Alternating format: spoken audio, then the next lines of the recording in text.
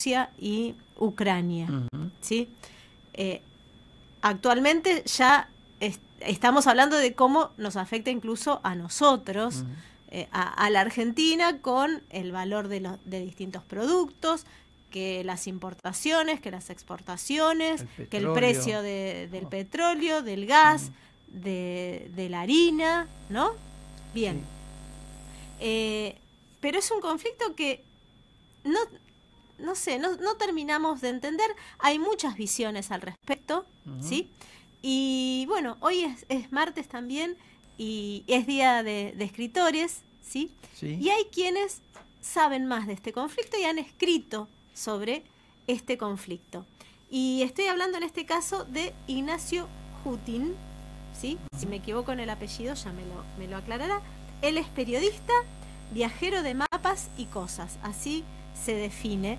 Tiene dos libros escritos al respecto. Eh, uno de ellos es Ucrania Donbass, un, una renovada guerra fría, y el, el, otro es Ucrania, crónica desde el frente, mm. ¿sí? Así se llaman. Y está con nosotros en línea, le damos los buenos días y le agradecemos esta comunicación. Buenos días, Ignacio. Daniel Veloso y Virginia San Román te saludan. ¿Qué tal? Buenos días, ¿cómo les va? Muy bien, muchas gracias por, atendernos. Y bueno, eh, acá estamos, Ignacio, tratando de, entender eh, este conflicto que eh, frente al, cual muchos opinan, muchos este, dicen saber o, entender, pero bueno, nosotros no. Queremos conocer este, quienes quienes saben un poquito más y creemos que vos sos uno de ellos. Contanos, ¿cómo, ¿qué podemos decir de este, de este conflicto? Bueno, yo voy a retomar una frase de entrevista que leí ayer que me gustó mucho, en la cual el entrevistado decía que esta invasión no tiene justificación, pero tiene causas. Hmm. Entonces podemos ver el proceso que llevó a, a esta decisión tan drástica que es invadir un país, que es bombardear ciudades, que es eh, atacar civiles, todo esto, estas imágenes terribles que estamos viendo en estos días, tienen distintas causas, al menos para el Kremlin. Eh, lo que interpreta Moscú es que Ucrania se le estaba alejando demasiado, por un lado. Ucrania tiene desde 2019 un mandato constitucional para intentar incorporarse tanto a la OTAN como a la Unión Europea. Pero además Rusia lo otro que ve es un avance de la OTAN. Y eso no es algo nuevo, viene desde 1999. Putin asumió la presidencia el 31 de diciembre de 1999, justo ese mismo año. Sí. Y, y a partir de 1999, la OTAN incorporó 14 nuevos miembros, todos ellos en Europa Oriental o en Balcanes, y de esos 14, 11 habían sido parte del Pacto de Varsovia de la alianza militar encabezada por la Unión Soviética. Entonces, eh, Rusia ve esta incorporación de muchos países tan cerca de su territorio como una amenaza. Y lo que dice Rusia es que durante 20 años, 22 años, nunca lo escucharon, entonces tiene que responder de alguna forma. Y a esto se le suma un factor con lo que, con lo que yo concuerdo particularmente con Putin, creo que acá tiene toda la razón, que es que Ucrania está en guerra desde 2014 y, hubo dos intentos por terminar la guerra, tres intentos en realidad, por terminar con la guerra, que fueron los dos acuerdos de Minsk, firmados en septiembre de 2014 el primero y en febrero de 2015 el segundo, y la fórmula Steinmeier de 2019. Y, y, esos acuerdos Ucrania jamás los quiso cumplir y nadie presionó para que los cumpliera. Y en eso, en ese punto particular, Putin tiene razón Obviamente no tiene razón en invadir país, pero sí tiene razón en reclamar esto, a que Ucrania nunca quiso terminar con la guerra. Mira. Y a pesar de, todas estas situaciones, ¿vos cómo ves las, las, posturas, por ejemplo, de nuestro gobierno, que a veces viste parece como que es ambigua, no se sabe si condena, si apoya?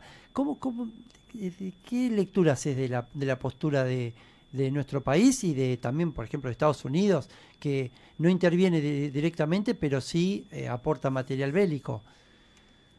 Bueno, en cuanto a Argentina, Yo diría que, la respuesta argentina no tiene absolutamente ningún peso a nivel internacional en este debate, en esta disputa, en esta guerra. Con lo cual todo lo que pueda decir Argentina es más puertas adentro que puertas afuera. Eh, Argentina tiene que condenar la invasión, cosa que ha hecho, y tiene que defender la integridad territorial de Ucrania como siempre lo ha hecho y, condenó la invasión en la Asamblea General de las Naciones Unidas. Mucho más que eso no se puede esperar. Entonces, yo no, no, a mí no me parece que la respuesta haya sido ambigua. Quizás haya sido un poco débil, pero, pero Argentina condenó en, la Asamblea General de Naciones Unidas y para mí con eso basta. No, no sé qué más se puede esperar. Eh, en, en, cuanto a Estados Unidos, eh, Estados Unidos y la OTAN en general están apostando a, no involucrarse abiertamente, porque saben perfectamente que una guerra abierta entre la OTAN y Rusia sería catastrófica para Ucrania y para Europa y, por qué no, para todo el resto del planeta. Eh, Estados Unidos no puede hacer mucho más por ahora, al menos, que aportar armas, aportar dinero. Y además, eh, Joe Biden, el presidente estadounidense, lo dijo abiertamente. Su principal preocupación en este momento es la economía de Estados Unidos post pandemia. Mm. Estados Unidos está ah, saliendo de una situación muy delicada, tuvo su más alta en muchas décadas, y, el presidente lo dijo el presidente de Estados Unidos dijo que, su principal preocupación es esa, es la economía de Estados Unidos, lo que pasa en Europa. Pero que Sí. Ahora, Ignacio, eh, estos organismos, ¿viste? Cuando uno dice, bueno, la condena, fíjate que hasta el mismo Papa, ¿no? El Papa Francisco también condena eh, la invasión de Rusia a Ucrania, eh, la ONU, y sirven para algo esas condenas, porque uno puede condenar, pero en la práctica, ¿eso se, se lo lleva, se lo ve? Mm lo que estás planteando se llama realismo en las mm. relaciones internacionales. Ah. Y digamos que muy básicamente lo que plantea el realismo es que quien tiene poder hace lo que quiere, que lo importante es acumular poder. Eh, y es cierto, así yo, yo concuerdo que en general así funciona el mundo. Eh, las grandes potencias no, no son reguladas por las instituciones internacionales, por los organismos internacionales. De hecho, tanto es así que eh, Rusia y Estados Unidos, entre muchos otros, no firmaron el Estatuto de Roma, con lo cual no reconocen la jurisdicción de la Corte Penal Internacional, con los cuales los ciudadanos rusos o estadounidenses que cometan crímenes de guerra no pueden ser, bueno, pueden ser juzgados, pueden ser condenados, pero nadie los puede meter presos, porque no se reconoce la jurisdicción. Eh, no sé en realidad cuánto peso tienen este tipo de condenas, pueden tener peso político, pero Mm. En la práctica, contra las potencias, mucho, mucho no se puede hacer. Claro, como que es muy simbólico todo, ¿no? Sí, exactamente. Da la sensación de que eh, esta, esta guerra no nos queda más que eh, esperar que, decanten, que sigan avanzando, que sigan bombardeando, porque parece que posiciones no se van a acercar, que, que no va a haber negociación. Es, es como, no sé, esperar. Eh, concuerdo, yo en este momento soy muy pesimista, no, no, no estoy viendo la salida a este conflicto. Creo que la única posibilidad más o menos positiva que puede haber es que Rusia se conforme, que Rusia se conforme con tomar el Donbass, la región oriental de Ucrania, con que Ucrania reconozca como territorio ruso la península de Crimea y se detengan los ataques. Creo mm. que ese es el mejor escenario al que podemos aspirar. Pero mm. aún en ese escenario, que creo que es el mejor al que podemos aspirar, insisto, aún en ese escenario es pésimo para Ucrania, es pésimo para su gobierno, es pésimo para su democracia, es mm. pésimo para su soberanía. Entonces yo no estoy viendo ninguna salida positiva. Eh, por ahora, la única buena noticia, muy encomillado, buena noticia, es que la OTAN no se está involucrando, con lo cual por lo menos el conflicto queda circunscripto a territorio ucraniano. Mm. Eso es algo. Por ahora no hay conflicto en Polonia, no hay conflicto en Rumania. Los ucranianos que quieren y que pueden irse del país se están yendo. Entonces, bueno, eso por ahora es la única noticia no mala que hay ah, en este momento. Ahora, Ignacio, ¿por, ¿por, qué Putin no, si quiere, porque por la, por la capacidad militar que tiene y operativa, logística y todo, si quiere, eh, digamos, Kiev lo destruye en un día. ¿Por qué no se llegó todavía al extremo de, de, la destrucción y de copar directamente y tomar el país? Yo no creo que él quiera tomar el país. Tampoco mm. creo que quiera tomar Kiev, ni creo que quiera tomar Kharkiv. De hecho, está bastante lejos de Kiev del centro de Kiev está a más de 10 kilómetros las tropas rusas. Y, y Kharkiv, la, segunda ciudad de Ucrania, la vienen bombardeando desde principios de mes mm. y, también está rodeada la ciudad, no la están intentando tomar. Eh, a mí no me parece que, Putin apunte a eso.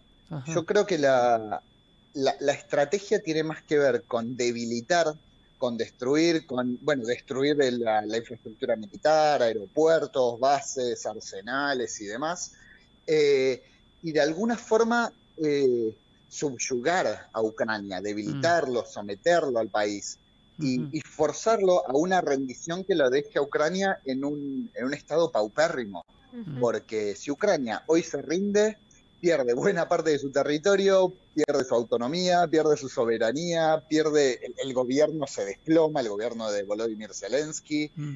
Ucrania pierde todo y se hunde en el caos si se rinde en este momento. y, yo creo que en este momento Putin apunta a eso, a, a, sacarle cierto territorio a Ucrania y a debilitarla. Y eh, al debilitar eso, a Zelensky también está debilitando a la OTAN en su conjunto. ¿O no? Bueno, la OTAN, la OTAN sigue insistiendo que no tiene nada que ver con esto, que puede apoyar a Ucrania y a su soberanía y a su democracia, pero la OTAN no tiene nada que ver en esta guerra. Y eh, Ignacio, se habla de crímenes de guerra, que eh, hay, se, se puede considerar lo que está sucediendo este, ciertas muertes, ¿se las puede considerar crímenes de guerra o crímenes de guerra según quién? No, crímenes de guerra están claramente establecidos por el derecho internacional, empezando por los convenios de Ginebra. Eh, por ejemplo, atacar un edificio civil es un crimen de guerra, absolutamente. Mm. Eh, el asesinato de no combatientes es un crimen de guerra. Mm. Y, y, sin duda Rusia está cometiendo crímenes de guerra el, uso de bombas de racimo puede ser considerado un crimen de guerra, el, ataque en general a cualquier zona civil es un crimen de guerra, sin lugar a dudas. El problema es, como decía antes, Rusia no es firmante del Estatuto de Roma, no reconoce la jurisdicción de la Corte Penal Internacional. para Entonces, ellos no. ¿quién lo va a juzgar? Eh, lo, que puede pasar, que, que Ucrania ya lo está intentando, es llevar el caso a, la Corte de Justicia, a la Corte Internacional de Justicia, que en ese caso sí se puede, pero, pero no se van a juzgar crímenes de guerra, va a ser otro tipo de juicio y de hecho a la primera audiencia Rusia ni siquiera fue, así que tampoco le tengo demasiada fe a ese proceso. Tampoco, como decía Virginia hoy que te preguntaba, ¿no? Tampoco se le puede poner una, no sé, no, no hay fecha para esto no, no hay, no, no, se puede decir esta guerra va a terminar dentro de poco o porque se están agotando determinados recursos, no se puede determinar eso cuánto puede durar. No, no, yo creo que esto se va a empantanar. Mm. Estamos viendo, vimos unos primeros avances muy rápidos mm. y después un, un, estancamiento de los avances, mm. que en muchos casos yo creo, yo creo que se, se, mostraron, se mostró este estancamiento de una forma demasiado optimista, demasiado a favor de Ucrania, con la idea de, no sé, el ejército de Putin no está resistiendo, la, resistencia ucraniana es mucho más fuerte de lo que Putin esperaba. Eh, ese tipo de discursos yo no me los creo. Yo no me creo que uno de los ejércitos más fuertes del planeta, como es el ruso, sea detenido por un grupo de civiles armados. Mm. No me parece. Creo que si se está estancando la guerra es más porque eso es lo que pretende Rusia que porque eso es lo que logra Ucrania. A mí me parece que ese estancamiento es porque, insisto, porque el objetivo de Putin no es tomar eh, Kiev o tomar Kharkiv o tomar el, oeste de Ucrania, sino destruir lo más posible, al menos en infraestructura militar, y, debilitar lo más posible a todo el sistema político, económico, social de, mm. todo el país.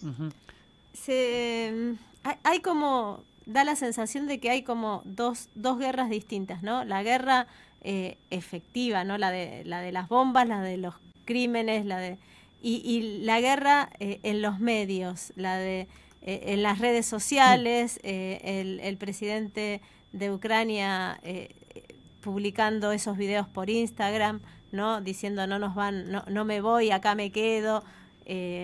esa, creando esa, esa, esa, esa sensación de, patriotismo y, de, y de fuerza, ¿no? Eh, como que va por otro lado en, en, ese, en ese sentido.